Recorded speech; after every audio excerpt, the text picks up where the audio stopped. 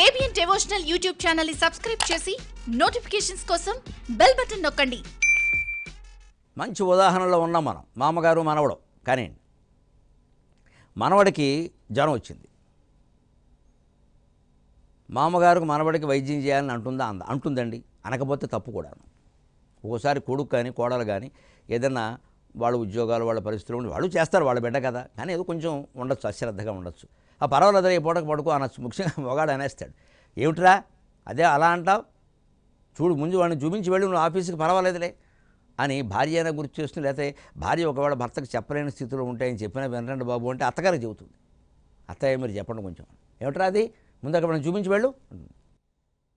ఈ మాత్రం ఉండాల్సిందే లేకపోతే పని అడవదు కానీ వీడికి తగ్గడం కోసమే నేను అనవరం మెట్లన్నీ మోకాలతో ఎక్కుతాన్ని మొక్కున్నా దీన్ని అంటారమ్మా ఇంగ్లీష్లో ఓవర్ ఓవర్ యాక్షన్ మామగారు ఇటువంటి పిచ్చి పనులు చేయకూడదు.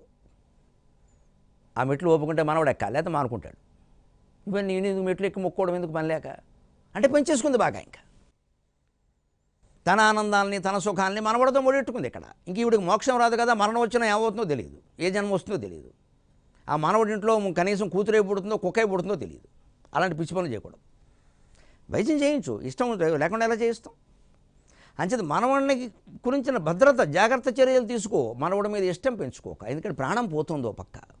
ఎనభై ఐదు ఏళ్ళు వచ్చి తొంభై ఏళ్ళు వచ్చి. మనకి మనవాళ్ళు మామిడి పళ్ళు ముఖ్యం కాదు. ఇదే వైరాగ్యానికి బాధ్యత నెరవేర్చడానికి తేడా. మనం ఇప్పుడు ఇంట్లో మన పక్కలు మన దుప్పట్లు మన వస్తువులు మన కంచాలు మన వెండి బంగారాలు అన్నీ మనం వాడుకుందామండి దేని ఎందు మనకి ఇష్టం వద్దు. అదే శ్రీకృష్ణుడు చెప్పిన మాట భాగవతంలో అందరినీ ప్రేమించు ఎవ్వరి ఎందు ఆసక్తి చూపించకము. ఎంత గొప్ప మాట వేదంలా రాసుకోవాలి. అందరినీ ప్రేమించుము ఎవ్వరి ఎందు ఆసక్తి చూపించకము. Love everybody but don't show interest అని ఎనీబడి ఇంగ్లీష్లో చెబితే కానీ అర్థం కాదు కాబట్టి చెప్పా. Love anybody but don't show interest అని ఎనీబడి నాకు ఇది ఆసక్తి ఆసక్తి నువ్వు అంటే ఆసక్తి అనేవాడు జుట్టు అట్టుకుని ఆడించేస్తారు. ప్రేమించడం వేరు ఈ ఆసక్తులు వేరు. ఈ ఇష్టాలు వేరు ఈ ఉండలేకపోవడాలు వేరు. అది జ్ఞాన మార్గం ఇప్పుడు వైరాగ్యం కూడా జ్ఞానానికి దారి చూపిస్తుంది. మన కర్తవ్యం మనం చేస్తున్నాం అంతకంటే ప్రత్యేకమైన ఇష్టం ఏం లేదు అక్కడ. అంచేత భక్తి జ్ఞానానికే దారి చూపిస్తుంది. వైరాగ్యము దారి జ్ఞానానికే దారి చూపిస్తుంది. అంచేత మనం చేసేది ఏమండి? మనవడి పని పనైనా పర్వాలేదు మామిడి పళ్ళతో మామిడికాయలతో ఆవకాయ పెట్టడమైనా పర్వాలా. ఆ కర్మని బుద్ధిహీనంగా చేయకూడదండి జ్ఞానహీనంగా. జ్ఞానం ప్రధానం నతు కర్మహీనం నీతి శాస్త్రంలో చెబుతారు. జ్ఞానం ప్రధానం నతు కర్మహీనం కర్మ ప్రధానం నతు బుద్ధిహీనం తస్మాత్ ఉభాభ్యాంతు భవేత్ ప్రసిద్ధి నహ్యేకపక్షో విహగ ప్రయాతి. జ్ఞానం ప్రధానమే. మంచిదే జ్ఞానం జ్ఞానం అని చెప్పేసి ఏ పని చేయకుండా కూర్చుంటే భోజనాలు పెడతారండి. వాళ్ళనే జాషువా తిట్టి పారేశాడు.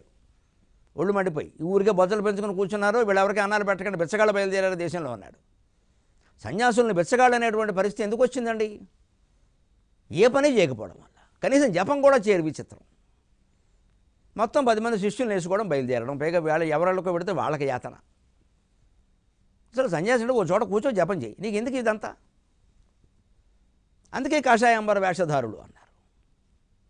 జ్ఞానం ప్రధానం అన్నది కర్మహీనం. కనీసం ఆయన భోజనం సంపాదించుకుంది కానీ ఆయన పని చేయాలి. అక్కడ కష్టపడి పని చేయాలి. తోట పని రామ రమణ మహర్షి చేశాడు.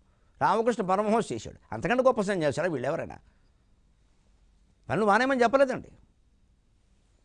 ఎంతసేపు అనుగ్రహ భాషణం కాదండి సన్యాసి అంటే. కష్టపడి పని చేయాలి. చెమటోడ్చే పని కూడా చేయాలి. అది ఎవరైనా చేస్తారని కాదు మనం కూడా చేయాలి. తణుకు దగ్గర వేలుపూర్లో రమణాశ్రమం ఉంది. మహానుభావుడు నిజంగా మరో రమణ మహర్షి అనిపించింది నాకు చూస్తే వేలుపూర్లో. ఆయన పదకొండు గంటల వరకు ధ్యానంలో ఉంటారు. పదకొండు గంటలకు లేచే మధ్యాహ్నం ఊరికే రెండు పేలాలు లాంటివి రెండు మెతుకులు తిని వ్యవసాయం పని చేస్తాడు ఆయన. మాట్లాడ్డాం.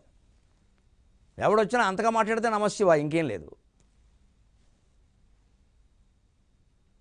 అంతే అయిపోయింది. వ్యవసాయం పని చేస్తాను ఇంకా మన ఇక్కడ ఆశ్రమంలో ఉన్నారు పది మంది వాళ్ళు తినాలి నేను తినాలి ఆ వ్యవసాయం పని చేస్తాను ఆయనతో పాటు వాళ్ళు చేకి చేస్తారా? జ్ఞానం ప్రధానమే పనులు మానే కల్లా కర్మ ప్రధానం ఉన్నది బుద్ధిహీనం కర్మపై చేయి అన్ని పనులు చేయి. వ్రతాలు చేయి పూజలు చేయి. అన్నం వండుకో తిను పడుకో అన్ని చేయి. బుద్ధిహీనంగా చేయకు. ఎందుకు చేస్తున్నావు? ఆలోచించు. ఈ నిద్రంతా ఎందుకు? ఈ భోజనం అంతా ఎందుకు? ఎన్నాళ్ళు ఇది? ఆలోచించు. అప్పుడు జ్ఞానం కలుగుతుంది. అందుకే తస్మాత్ ఉభాభ్యాంతు భవేత్ ప్రసిద్ధికి రెండు మూల కారణములే. రెండిటితోనే మనకి సిద్ధి ప్రసిద్ధి కలుగుతాయి. దానికి ఉదాహరణగా కూడా చెప్పాడు సరదాకి. నా ఏకపక్షో విహగ ప్రయాతి. జీవితం పక్షి లాంటిదయ్యా. దానికి రెండు రెక్కలు ఉండాలి కదా. ఒక రెక్క జ్ఞానం ఒక రెక్క కర్మ. వివేకానందుడి సిద్ధాంతం అంతా ఇదే. ఒక రెక్క జ్ఞానం ఒక రెక్క కర్మ. పని చేస్తూ ఉండండి. జ్ఞానంతో చేయండి. జ్ఞానం పేరు చెప్పి పనులు ఎగ్గొట్టకండి. వివేకానందుడు సన్యాసంతో పాటుగా జ్ఞానంతో పాటుగా కర్మను ప్రోత్సహించాడు. మీ ఆఫీస్ పని మానకండి. మీ వ్యాపారం మానకండి. మీ వ్యవసాయం మానకండి. మీ విద్యార్థి దశ పోనివ్వకండి. జారిపోనివ్వకండి. ఏం చదవాలో ఎలా చదవాలో నేర్చుకోండి. ఎలా వ్యవసాయం చేయాలో చూడండి. ఎలా వ్యాపారం చేయాలో చూడండి. ఏబిఎన్ డివోషనల్ యూట్యూబ్ ఛానల్ని సబ్స్క్రైబ్ చేసి నోటిఫికేషన్స్ కోసం బెల్ బటన్ నొక్కండి.